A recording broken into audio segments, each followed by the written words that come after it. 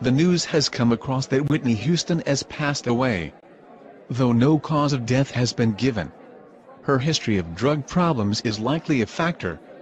I would like to give my condolences to the friends and family of Whitney. Thank you.